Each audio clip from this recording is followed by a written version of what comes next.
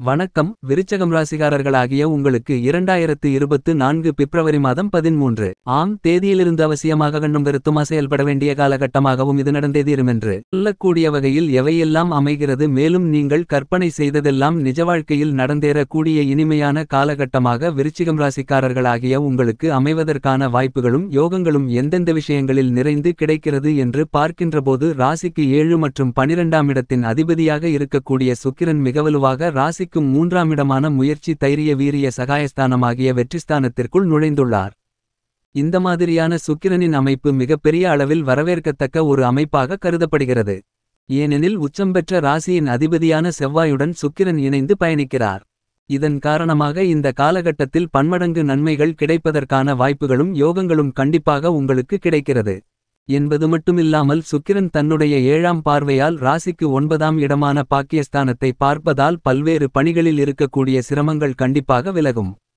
பொதுவாக மூன்றாம் இடம் சுக்கிரனுக்கு அவ்வளவு சிறப்பான இடமில்லை என்றாலும் உச்சம் பெற்று இருக்கக்கூடிய ராசிநாதனான செவ்வாயுடன் இணைந்திருப்பதால் தடைகளாக இருந்து வந்த அனைத்து காரியங்களிலும் வெற்றிகள் கிடைத்து அதிர்ஷ்ட முன்னேற்ற பலன்களை மிகச்சிறப்பாக ஏற்படுத்தி கொடுக்கிறார்.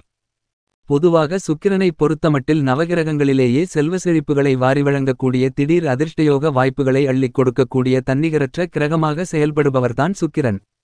ஏனெனில் நவகிரகங்களிலேயே முழுமையான சுபகிரகமாக இருக்கக்கூடிய குறு செல்வ செழிப்புகளை அள்ளிக் கொடுத்தாலும் திடீர் அதிர்ஷ்டயோக வாய்ப்புகளை கண்டிப்பாக நிறைந்து கொடுக்கக்கூடிய முக்கியமான கிரகமாக இருப்பவர் சுக்கிரன் மட்டும்தான். இவ்வாறான சுக்கிரன் மிகவலுவாக இருக்கின்றபோது மிகப்பெரிய அளவில் முன்னேற்ற வாய்ப்புகள் கண்டிப்பாக கிடைக்கும். அதிலும் இந்த காலகட்டத்தில் தசா புத்திகளின் அடிப்படையில் சுக்கிரமா திசை நடைபெறுகின்றவர்களுக்கு சுக்கிரனின் நட்பு கிரகங்களாக இருக்கக்கூடிய புதன் சனி ராகு புத்திகள் நடைபெற்றால் கண்டிப்பாக இந்த காலகட்டத்தில் கற்பனை செய்து கொண்டு இருந்ததெல்லாம் நிஜமாகவே உங்களுடைய வாழ்வில் நடக்கக்கூடிய அற்புதமான அருமையான காலகட்டமாக மாறுகிறது. என்பது மட்டுமில்லாமல் சுக்கிரனின் பார்வையில் குரு சமகிரகமாக இருந்தாலும் கூட குருவின் பார்வையில் சுக்கிரன் பகைகிரகமாக பார்க்கப்படுகிறார். எனவேதான் தனுசுராசியில் சுபத்துவ பாதையில் சஞ்சரித்துக் கொண்டிருந்த சுக்கிரன் தற்போது சுபத்துவ பாதையிலிருந்து நீங்கி உச்சம் பெற்ற செவ்வாயுடன் இணைந்து சஞ்சரிக்கிறார். இந்த மாதிரியாக சஞ்சரிக்கக்கூடிய இடம் என்பது சுக்கிரனின் நட்பு கிரகமாக இருக்கக்கூடிய சனியின் ஆட்சி வீடான மகரம் ராசியாக இருக்கிறது. சனிக்கும் சுக்கிரன் நட்பு கிரகமாக இருக்கிறார். என்பது மட்டுமில்லாமல் செவ்வாய் சமகிரகமாக கருதப்படுகிறார்.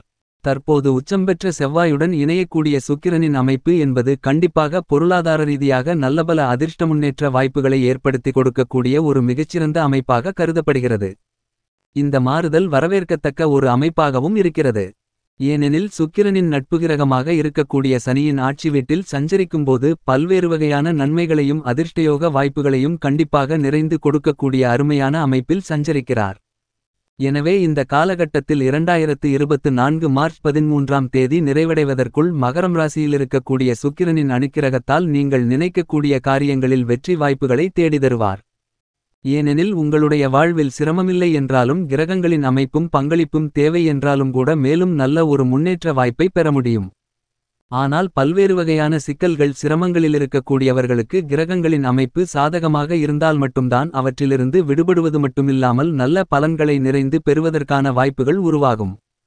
உதாரணமாக ஒரு பள்ளியில் ஒரு ஆசிரியரிடம் பல மாணவர்கள் படித்துக் கொண்டிருந்தனர். அத்தனை மாணவர்களுக்கும் ஆசிரியர் நல்வழிகளை போதிக்கிறார். அந்த நல்வழிகளை அவரிடம் கல்வி கற்கக்கூடிய பல மாணவர்களும் நன்கு போதனைகளை கற்றுக்கொண்டார்களா என்றால் கண்டிப்பாக இல்லை என்றுதான் சொல்ல வேண்டும். ஏனெனில் அந்த ஆசிரியரிடம் பயிலக்கூடிய ஒரு மாணவன் உணவு வைத்திருக்கும்போது அந்த சரியான தருணத்திற்கு முன்னதாகவே அதை திருடி சாப்பிடுகிறான்.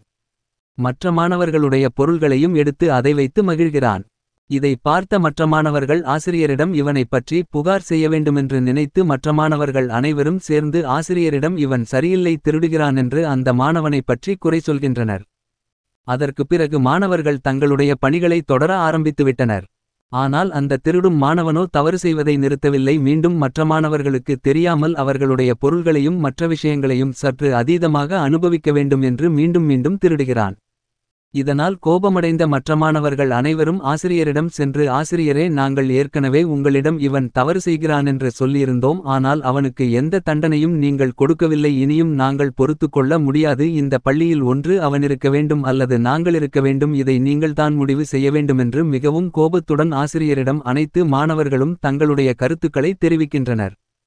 ஆனால் ஆசிரியரோ உங்களிடம் சொல்வதற்கு ஒரே ஒரு பதில் மட்டும்தான் உள்ளது. அந்த மாணவன் கண்டிப்பாக இங்குதான் இருக்க வேண்டும். நீங்கள் வெளியே செல்ல வேண்டுமென்று விருப்பப்பட்டால் செல்லலாம். அதற்கு நான் அனுமதி கொடுக்கிறேனென்று அந்த ஆசிரியர் கூறுகிறார்.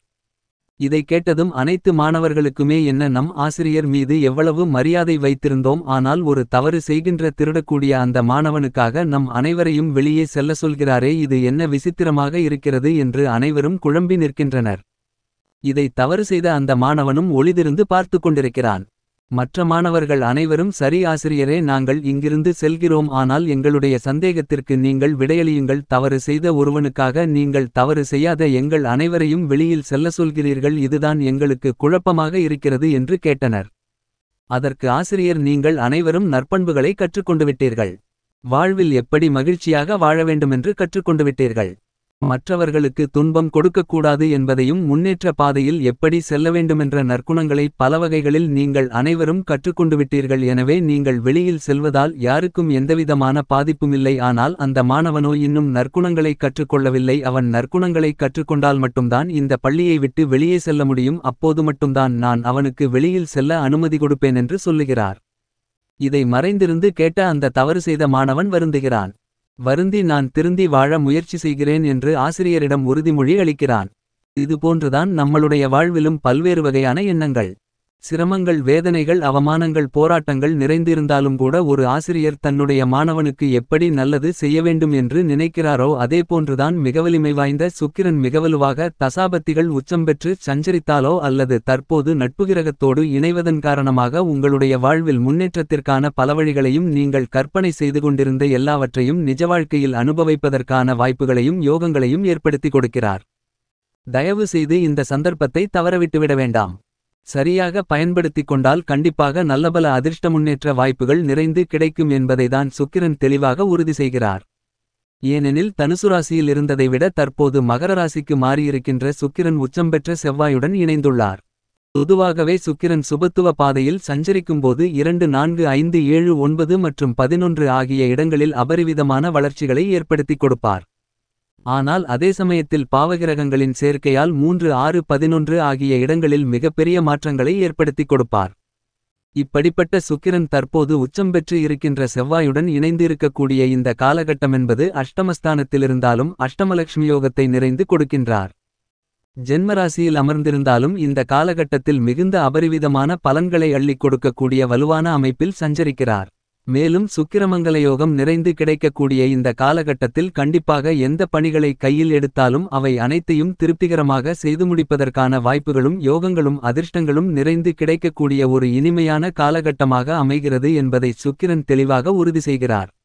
இந்த மாதிரியாக சுக்கிரனின் அமைப்பு இருக்கின்றபோது விருச்சிகம் ராசிக்காரர்களாகிய உங்களுடைய குடும்ப சூழ்நிலையை பொறுத்தமட்டில் ராசியின் அதிபதி உச்சம் பெற்று சஞ்சரிக்கும்போது அவருடன் இணைந்து சஞ்சரிக்கக்கூடிய சுக்கிரன் மிகவலுவாக நிறைந்த யோகங்களை கொடுக்கிறார். சுக்கிரமங்கள யோகம் நிறைந்து கிடைக்கக்கூடிய இந்த காலகட்டத்தில் வரன்களிலிருந்த சிக்கல்கள் விலகும். நீங்கள் எதிர்பார்த்து கொண்டிருக்கக்கூடிய திருமணம் உள்ளிட்ட பல்வேறு வகையான சுப நிகழ்வுகள் மிகச்சிறப்பாகவும் மகிழ்ச்சியை ஏற்படுத்தக்கூடிய வகையிலும் அமைகிறது. பல்வேறு வகைகளில் தடைகளை சந்தித்து வந்த காரியங்களில் தடைகள் அனைத்தும் விலகி நீங்கள் எதிர்பார்க்கக்கூடிய முன்னேற்ற வாய்ப்புகள் நிறைந்து கிடைக்கிறது. உத்தியோகம் ரீதியாக மிகவலுவாக சனிபகவான் நான்காம் இடத்தில் அமர்ந்திருந்தாலும் சுக்கிரன் சாதகமான ஒரு அமைப்பை ஏற்படுத்திக் கொடுக்கிறார். எனவே உத்தியோகம் ரீதியாக சிறு சிறு அலைச்சல்கள் இருந்தாலும் உங்களுடைய எதிர்பார்ப்புகள் கண்டிப்பாக பரிபூரணமாக பூர்த்தியாகும். தொழில்துறை ரீதியாக நீங்கள் திட்டமிடக்கூடிய காரியங்கள் அனைத்திலும் காரிய வெற்றிகள் உண்டு. பல்வேறு வகைகளில் பங்குதாரர்கள் நிதி நிறுவனங்கள் மற்றும் மற்ற விஷயங்களில் இருக்கக்கூடிய சிரமங்கள் சிறு சிறு வில்லங்கங்கள் இந்த காலகட்டத்தில் விலகுவதற்கான வாய்ப்புகளும் லாபங்கள் அதிகரிக்கக்கூடிய ஒரு காலகட்டமாகவும் கருதப்படுகிறது. என்பது மட்டுமில்லாமல் கலைத்துறையின் நாயகனாக இருக்கக்கூடிய சுக்கிரன் மிகவலுவாக இந்த காலகட்டத்தில் பயணித்துக் கொண்டிருக்கும் இடமென்பது வெற்றி சகாயஸ்தானம் என்பதால் பல்வேறு விதமான கடினமான விஷயங்களை கூட மிக எளிதாக செய்து முடிப்பதற்கான வாய்ப்புகள் உண்டு. அரசியல் சார்ந்த பணிகளில் மிக முக்கியமாக எதிர்பார்க்கக்கூடிய கூட்டங்கள் உள்ளிட்ட பல முக்கிய சந்தர்ப்பங்களை சந்திக்கக்கூடிய ஒரு இனிமையான காலகட்டமாக அமைகிறது. எனவே விருச்சிகம் ராசிக்காரர்களாகிய உங்களுக்கு எதிர்கால வெற்றிகளை உறுதி செய்யக்கூடிய ஒரு மிகச்சிறந்த காலகட்டமாக அமைகிறது. மாணவ மாணவி கண்மணிகளின் கல்வியில் நல்ல முன்னேற்றங்கள் உண்டு. விவசாயத்துறையின் அதிபதியாக இருக்கக்கூடிய ராசியின் அதிபதியான ராசிநாதனான செவ்வாய் பகவான் உச்சம் பெற்றிருப்பதால் இந்த காலகட்டத்தில் புதிய வீடு நிலம் வண்டிவாகனங்கள் போன்ற அசையும் அசையா சொத்துக்களை வாங்குவதற்கான யோகங்களும் உண்டு என்பதை அவருடன் இணைந்து சுக்கிரன் சஞ்சரிப்பதால் உறுதி செய்கிறார். பெண்களைப் பொறுத்தமட்டில் உங்களுடைய எதிர்பார்ப்புகள் பூர்த்தியாகும். மேலும் இந்த காலகட்டத்தை சாதகமாக மாற்றிக்கொள்ள கண்டிப்பாக நீங்கள் வாரத்தில் வெள்ளிக்கிழமை விரதமிருந்து அம்மனுக்கு இரண்டு நெய் விளக்கு போட்டு வழிபாடு செய்யுங்கள்.